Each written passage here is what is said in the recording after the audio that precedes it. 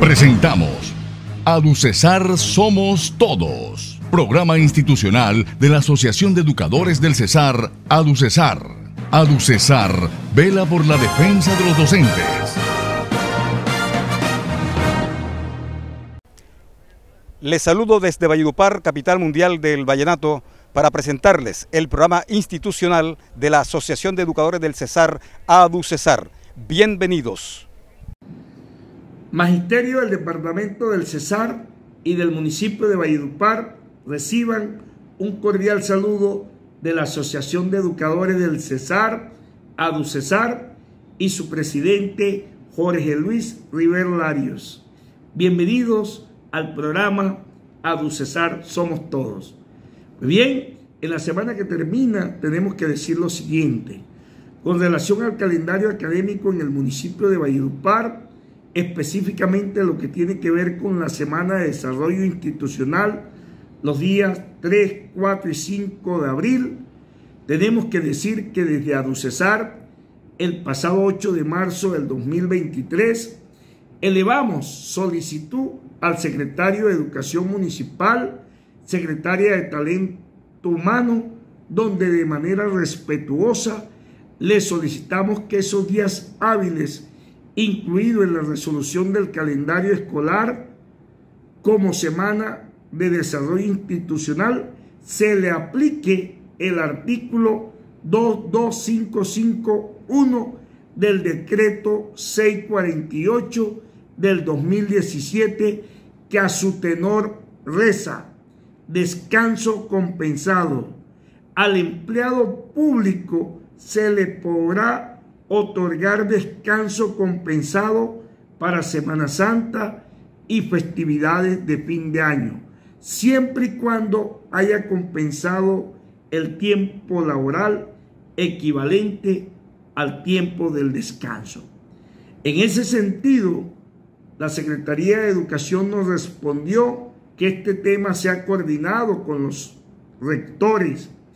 Asimismo, el secretario de Educación Municipal en reunión realizada el pasado viernes 24 de marzo con los rectores dio la respectiva orientación de compensar los días hábiles. Es por ello que desde Aducesar invitamos a los señores rectores concertar con su cuerpo docente y así compensar los días antes mencionados. Por otro lado, decirles que hay inquietudes en el magisterio colombiano y del Cesar y obviamente de Valledupar sobre cómo será el aumento salarial de este año 2023 y para cuándo será. Pues bien, la negociación de los empleados estatales está enmarcada en el decreto 160 de 2014, por lo que la negociación inicial tomaría 20 días hábiles, prorrogable a 20 días más. Una vez haya acuerdo, se deberán expedir los respectivos decretos.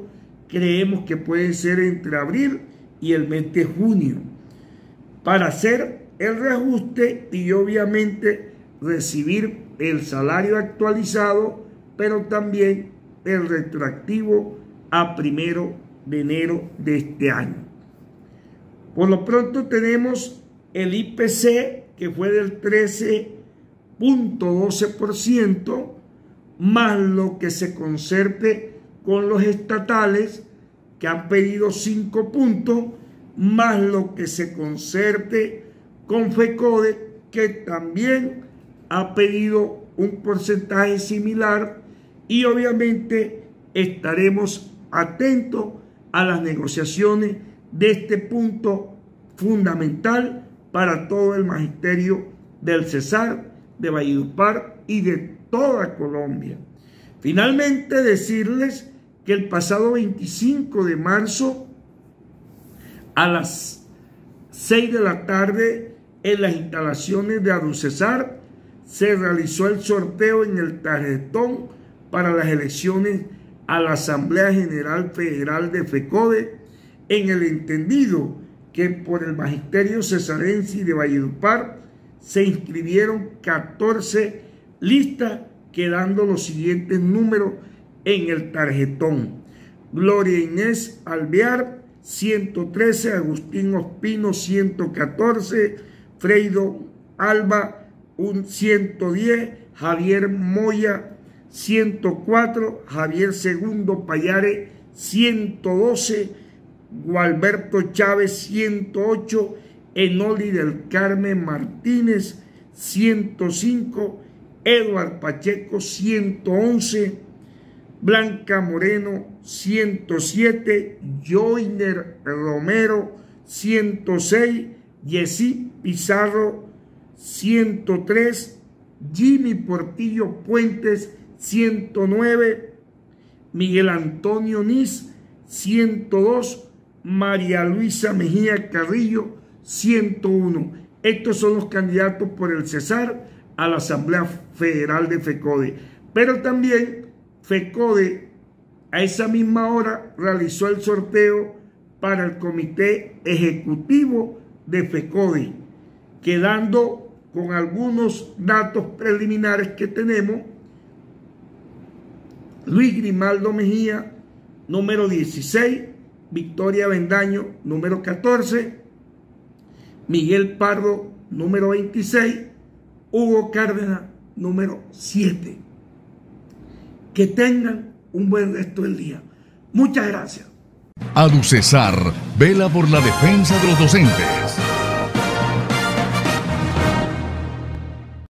En Cesar somos todos. Este es el tema del momento. Buenos días a todos los maestros del departamento del Cesar y su ente territorial Valledupar.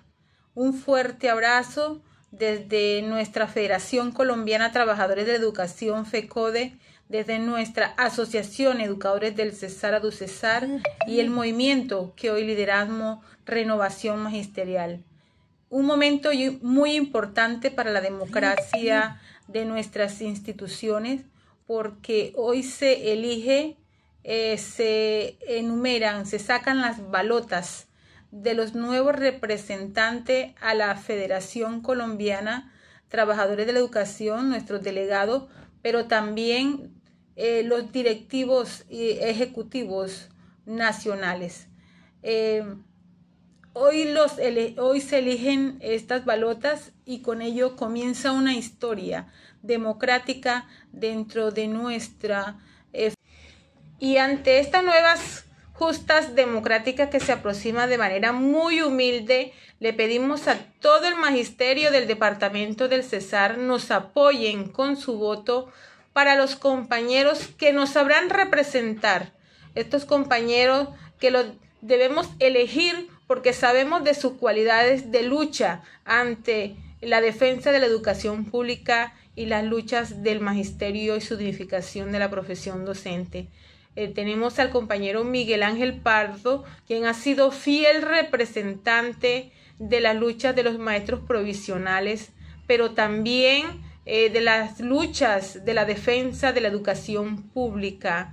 Está allí con el número 26. Este 26 de mayo se elegirá con el número 26 y le pedimos el apoyo a todos ustedes para que este gran líder siga defendiendo nuestras causas en el magisterio de Colombia. Además de esto tenemos al compañero Fabio Aria, quien hoy busca un espacio a nivel de nuestra eh, nuestro comité ejecutivo de la CUT nacional y es un fiel y digno representante para defender nuestras causas en otros tiempos lo ha demostrado, su capacidad de lucha siempre nos está defendiendo en cada punto a donde se cite, ahí está Fabio Aria. Pero de igual manera la profesora Blanca Moreno, quien hoy busca un espacio eh, a través de nuestros eh, delegados nacional a la,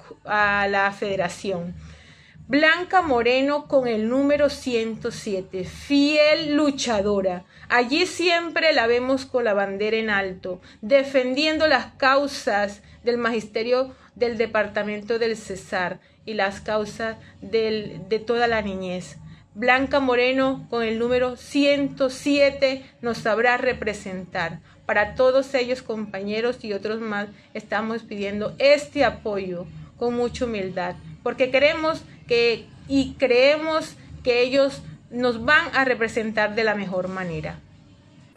Un cordial saludo para todos los maestros y las maestras que en este momento están conectados a Ducesar Somos Todos. Un saludo también para las demás personas que no siendo maestras ni maestras, pues también están eh, escuchándonos y viéndonos. Desde la Central Unitaria de Trabajadores, un feliz día y un abrazo solidario frente a todas las circunstancias por las cuales estamos pasando en estos momentos. Quiero eh, desde la Central Unitaria de Trabajadores comentar las tres reformas sociales que ha presentado el gobierno del cambio al Congreso de la República. La primera la hizo el día 13 de marzo, 13 de febrero, la reforma a la salud, una reforma que ha venido teniendo una fuerte polémica en los medios de comunicación, donde desde diferentes ángulos, especialmente desde los empresarios vinculados a las EPS, de los partidos políticos vinculados a las EPS, especialmente el Partido Liberal, recordemos que César Gaviria eh, fue el presidente de la República que presentó el proyecto de ley. Eh, Francisca Toro del partido de la U, que también ha estado vinculada al tema de la salud, especialmente en el Valle, y el Partido Conservador, que obviamente también tiene eh, expresiones políticas vinculadas especialmente en la costa. Esta reforma a la salud persigue cuatro aspectos centrales.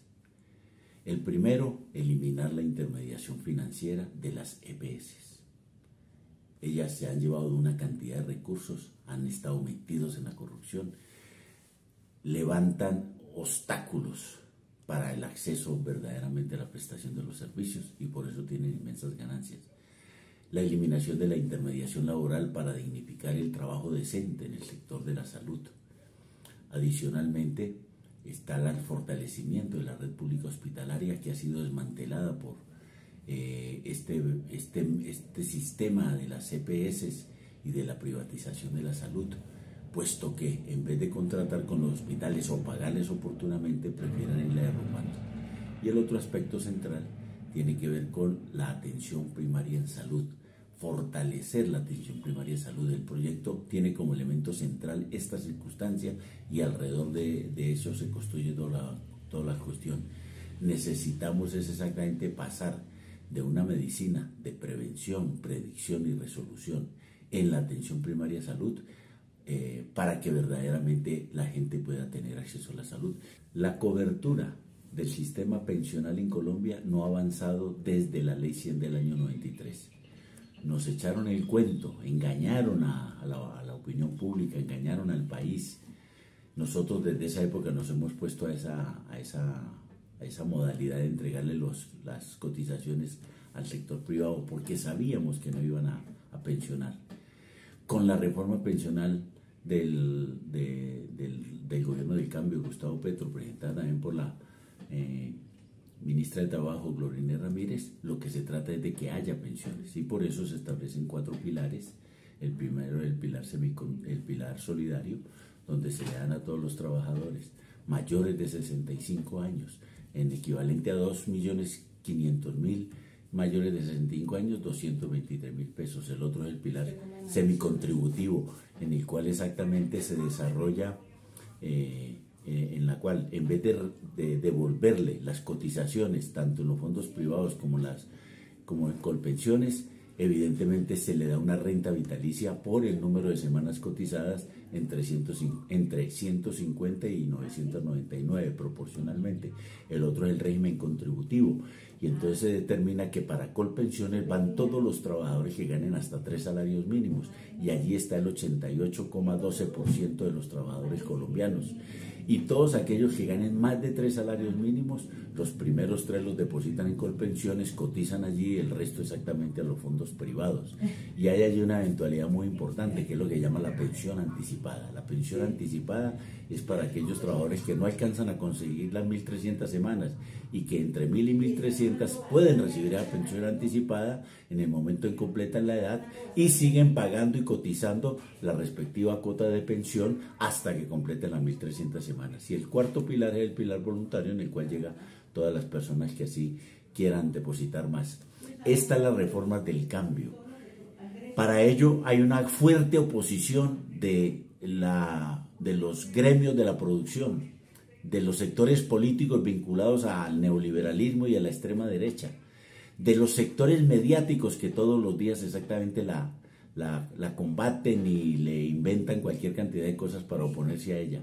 Necesitamos que los trabajadores nos pronunciemos fuertemente en las redes sociales y en las calles para defender estas reformas sociales. La movilización social puede despejar el panorama en el Congreso de la República para que definitivamente sean aprobadas y por eso el primero de mayo debe ser una movilización nacional extraordinaria. El segundo proyecto de reformas presentada por el gobierno del cambio eh, es la reforma laboral que fue presentada el día 16 de marzo, precedida de una eh, movilización nacional del movimiento sindical y otros sectores sociales que ven en ella obviamente eh, la posibilidad de recuperar unos derechos que, ha, que han sido conculcados, cercenados en estos 32 años del modelo neoliberal. De tal manera que esta reforma laboral pretende modificar la ley 50 del 90, la ley 789 del 2002, especialmente. Y en ese sentido, pues, eh, establece eh, varios aspectos. El primero, la estabilidad en el empleo y la eliminación de estas formas tercerizadas de, contratación y subcontratación que le quita derechos eh, a los trabajadores. Dos, eh, recuperar los recargos nocturnos y los dominicales y festivos. Los solo recargos nocturnos. En estos 21 años de aplicación de, la, de esta reforma, la ley 789 del 2002, para si todos los trabajadores fueran de salario mínimo, significaría que los trabajadores han dejado de recibir 75 billones, billones, y se lo han obviamente embolsillado los empresarios. Por eso es que les duele tanto. Eh, tercero, eh, las garantías de las libertades sindicales, el derecho de asociación que se promueva, el derecho de negociación, que haya negociación multinivel en el sector privado, especialmente ya que en el sector público existe, donde verdaderamente se establezcan mesas de negociación con la proporcionalidad de los sindicatos existentes, tanto a nivel de ramo de actividad económica como a nivel de empresa o de grupo empresarial, y que la eh, mesa de negociación no sea superior a 15 miembros negociadores. Y por último también regula aspectos señalados, eh, aspectos importantes de las trabajadoras domésticas, los trabajadores rurales y eh, los trabajadores de plataformas. Hay que darle el carácter de trabajadores a los trabajadores de plataforma. Esa es la reforma laboral y la otra es la que acaba de presentar el Gobierno Nacional el pasado 22 de marzo, eh, la reforma pensional.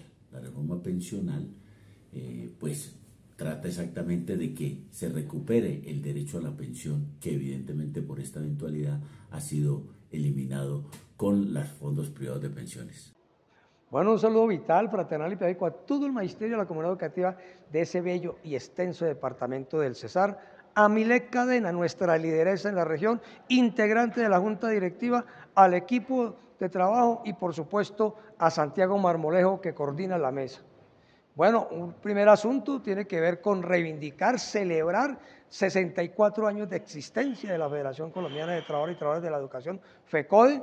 Hemos logrado durante todos estos años garantizar la existencia de la educación pública y en este sentido también señalar que por primera vez FECODE celebra su aniversario en, el marco de un gobierno alternativo que no ocurría desde el año 1885. Bueno, en segundo lugar, pues el tema al orden del día tiene que ver con el tema del pliego de peticiones y de los temas que están en materia educativa en el Plan Nacional de Desarrollo en el proyecto, por supuesto, y en el articulado y las bases del Plan Nacional de Desarrollo. Sobre el tema del pliego, la, inicia la negociación el próximo 28 entre FECODE y la representación del Gobierno Nacional con la presencia del Ministerio de Educación Nacional, de Hacienda, de Hacienda del Departamento Nacional de Planeación. Y para nosotros un primer punto a discutir de manera urgente, e inmediata, es el tema de las plantas de personal así como se está discutiendo en todos los pliegos de peticiones, en el caso nuestro es de insistencia, que debe haber una nueva normatividad, una orientación clara que las plantas de personal, en las plantas de personal deben priorizar los criterios académicos y por supuesto de dignificación de la labor pedagógica y del trabajo. En ese orden de ideas hemos planteado desde la federación que el primer punto a tratar sea ese, y dentro de esos puntos que implica la variedad de temas que implica lo de plantas de personal, para otros es muy importante insistir en que se emita una circular por parte del Ministerio de Educación Nacional que establezca no disminuir, oígase bien, no disminuir las plantas de personal por colegio con respecto a lo que existía en el 2022. Para nosotros esto es clave. Esta es una manera de frenar, de parar el acoso sobre los colegios, sobre las plantas de propiedad en las cuales dicen a los colegas que sobran o sobre la desvinculación inmediata de compañeros y compañeras provisionales. Evidentemente el pliego de peticiones tiene medidas y propuestas más de fondo para darle una solución al tema de los colegas provisionales, pero si no se garantiza que se mantengan en el cargo mientras simultáneamente se discuten esas propuestas y esos puntos del pliego, pues vamos a tener maestros desvinculados, eh, eh, cinco mil diarios, dos mil diarios, y en ese orden de ideas no podremos después eh, considerar los provisionales, sino desvinculados. Esto es absolutamente clave y para nosotros este punto es de oro. Segundo, los puntos que deben ser excluidos o incluidos o aclarados del articulado del proyecto de Plan Nacional de Desarrollo. Vital, clave. El más importante para nosotros tiene que ver eh, con que quede refrendado el mandato por ley de que este gobierno debe materializar la reforma al sistema general de participaciones. Se trata de recuperar los 256 billones de pesos que nos han quitado entre el 2002 y el 2022 a educación y en ese sentido se trata entonces de eh, que esta reforma se logre poner a tono con lo que planteó el gobierno de Petro en su, en su campaña y es restituir eh, los artículos originales de la Constitución de los artículos 356 y 357, en la cual se garantiza la financiación de la educación y de paso, por supuesto, del derecho. El otro punto que ya quedó eh, excluido de la, propuesta del proyecto tiene que ver con el que implicaba la creación, eh, creaba un organismo nuevo que pondría en peligro, según nuestra opinión, que los recursos del FOMAC fueran administrados por eh, capital, dejaran de ser administrados por capital eh, público y, y, podría abrirse la puerta para que fueran administrados por capital privado. Este punto ya fue retirado. También fue retirado el punto que tiene que ver con el tema de eh, la educación híbrida. Esto es lo que va, pero nosotros insistimos en que otros puntos deben ser eh, aclarados o eh, retirados. Uno de ellos, el del, el del voluntariado juvenil, porque no, no, es coherente lo que se dice de ese programa con lo que se está haciendo. Si, ese, programa no tiene que ver con el fortalecimiento de las prácticas pedagógicas, que en eso sí tenemos nosotros toda la disposición al diálogo académico. Lo que está planteando allí son cosas diferentes y entre otras la de endosarle a los practicantes lo que le corresponde a los maestros y poner también en riesgo de paso la vinculación de los provisionales o la desvinculación, poniendo eh, promoviendo la desvinculación de colegas provisionales. Igualmente, para nosotros tiene que quedar absolutamente claro, porque está hoy embolatado en, en, el proyecto de plan de desarrollo, que los tres grados de, de preescolar deben ser, debe quedar claro, deben ser tres grados de preescolar en los colegios oficiales y con maestros oficiales. Igualmente tiene que aclararse el tema de que la jornada única debe ser sobre la base de condiciones previas con criterios pedagógicos, que es lo que debe priorizarse en el tema de jornada única y por supuesto no puede seguir en una jornada escolar desfigurada, sin recursos, sin propósitos académicos, como ya fracasó en la mayor parte del país, incluida Bogotá. Y por último, para nosotros es clave que no pueden ser relevados en su función de dirección y orientación de la política educativa los órganos de gobierno escolar, como también no pueden ser relevados eh, las juntas de educación, los comités territoriales de formación, los foros educativos. Al contrario, hay que ponerlos a funcionar y, por supuesto, respetar lo que, han, eh, eh, lo que son sus decisiones.